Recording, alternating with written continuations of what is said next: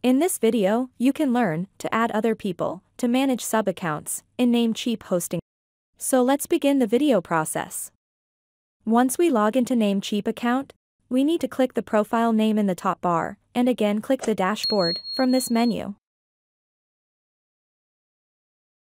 Next, we need to click Hosting List in the left side of the dashboard. And here, we need to click this button to enter cPanel settings page.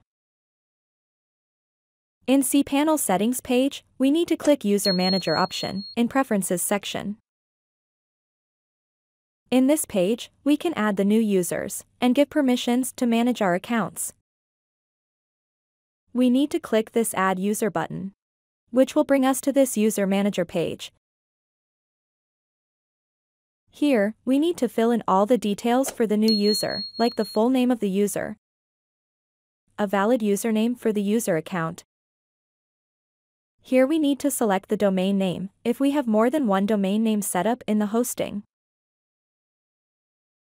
Below, we need to add the contact email account of the new user. And here, the password can be either generated or set up by us for the new user. And finally, under the service section, we can select the accounts or sections, which we want to allow the user to manage, in these section, I want to allow this user the permission to manage only the email account section in my hosting account.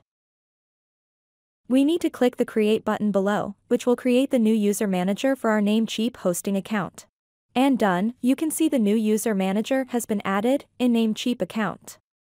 With this we have come to the end of this video, please subscribe to my channel and click the bell icon to get updates when we add more content.